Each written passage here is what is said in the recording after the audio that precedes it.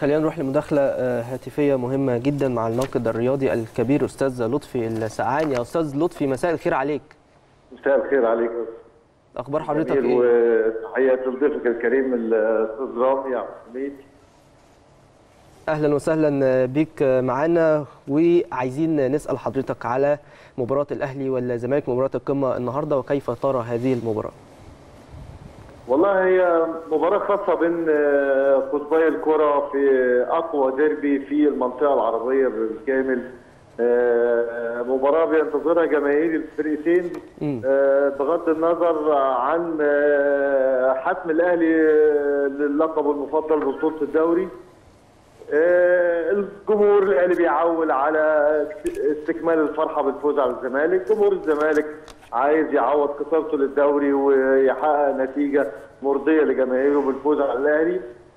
مباراة ما لهاش أي مقاييس أو معايير لكن في النهاية هتكون مباراة عصبية متوترة بين الفرقتين عصبية ومتوترة آه طبعا ليه بقى؟ آه طبعا آه الكل عايز يثبت آه ذاته مم. آه عايز يعوض آه الزمالك عايز يعوض البطولة ويرضي جماهيره. الأهلي عايز يأكد آه، حقه باللقب ويسعد جماهيره. فهتبقوا ال- ال- اللعيبة نازلة متوترة. يتوقف على ذلك. شخصية الحكم اللي هتقدر تسيطر على المباراة. حتى لو طرف منه يبقى شكلها خارج بشكل مش لائق ديربي مهم جدا في المنطقة العربية. أهم ديربي في المنطقة العربية عموما.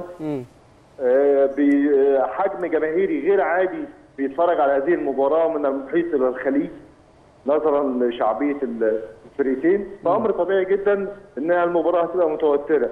أتمنى إنها تخرج بشكل كويس عشان. نقول إن إحنا آه، في آه، أسلوب حضاري وراقي بعد كأس الأمم الأفريقية ونقدر نقنع الناس إن إحنا عندنا حتى فرقتين بيقدروا يقدموا حاجة كويسة بغض النظر عن مين يكسب مين يخسر. لكن في النهاية نتمنى إنها تبقى مباراة تليق بديربي الكرة المصرية بشكل كويس جدا.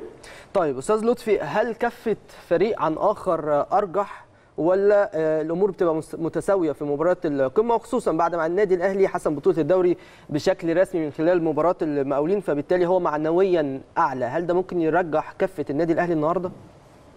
آه، دايما في حكمة بتقول آه، لا لا تدخل معركة مع شخص لا يملك ما يخسره. الزمالك اليوم لا يملك ما يخسره خلاص خسر الدوري ما عندوش أزمة في حاجة. لكنه بيبحث عن تعويض معنوي.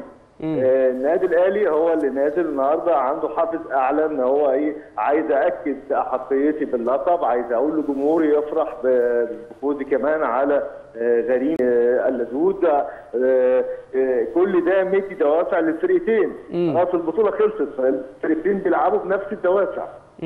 إن دي مباراة خاصة يعني لإرضاء الجماهير. فأمر طبيعي إن الفرقتين هيبقوا نازلين عندهم نفس الحافز انه يلعب عليه. آه آه، هيبقى في قلق عند جمهور الزمالك عند لعيبة الزمالك أمر طبيعي لأنه مش عايز يبقى خارج من المباراه بخسارة كبيرة. مش عايز يبقى خارج حتى الخسارة آه، بفارق كبير. فبالتالي آه، يعني تخلي اللعيبة فيها حالة غضب من الجماهير بشكل كبير جدا فتاثر عليهم آه، مستقبلا. في- خصوصا إن عدد اللعيبة الدوليين في الفرقتين مباراة آه، ما بين الأهلي والزمالك من غير جمهور وبإذن الله من الموسم الجاي بقى نشوف جمهور بشكل طبيعي في كل المباريات خاص كمان في مباراه الأهلي والزمالك.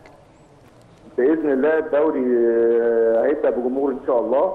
ومباراة الأهلي والزمالك هيبقى فيها جمهور يعني بعد نجاح تجربة تذكرتي في كأس الأمم الأفريقية أعتقد إن إحنا أصبح عندنا data كويسة جدا وأصبح عندنا system كويس جدا إنك أنت تقدر تدخل جمهور في أي وقت خصوصا آه، إن بقى عندك قاعدة بيانات كل من هو موجود في داخل آه، المدرجات فأمر طبيعي إن إن شاء الله إن الدوري الجديد يبدأ بجمهور إن شاء الله. مباراة الأهلي والزمالك أيضا بجمهور ونعود تاني للاستمتاع آه، بالمباريات بحضور الجمهور لأن هي المتعة الحقيقية آه، لأن مفيش طبعاً. مسرح بدون جمهور فما بالك بقى ملعب كرة القدم بدون جمهور ده ده ده, ده ساهم كتير جدا إن إحنا آه، إن إن الكورة عندنا تتراجع شوية لكن إن شاء الله آه، عندي ثقة كبيرة وأمل إن الموسم الجديد هيبقى مختلف تماما تماما آه، سواء على آه، الدوري أو الدربيات الخاصة بين الاهلي والزمالك. النتيجة يا أستاذ لطفي توقعاتك ليها إيه النهارده والله النتيجة صعب.